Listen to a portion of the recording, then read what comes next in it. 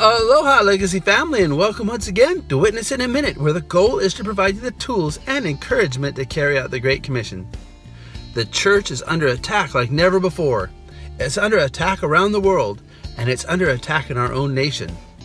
Our culture mocks, marginalizes, and dismisses Christians as lunatics and fanatics, even weak minded imbeciles.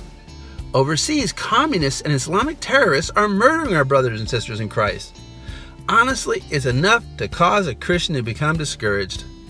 But I have good news for you today. We may lose a battle here and there, but we're going to win the war. In Matthew 16 18, Jesus said, The gates of hell will not prevail against the church.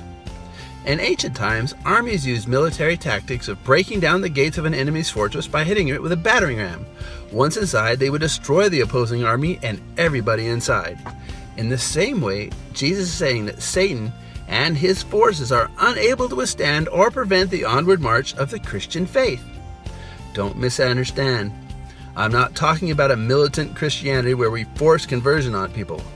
Rather, I'm talking about loving followers of Jesus Christ seeking to persuade people to turn from their wicked ways, believe, and be forgiven.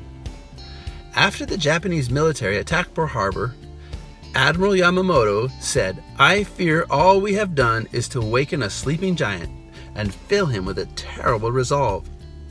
Now, the church today is that sleeping giant.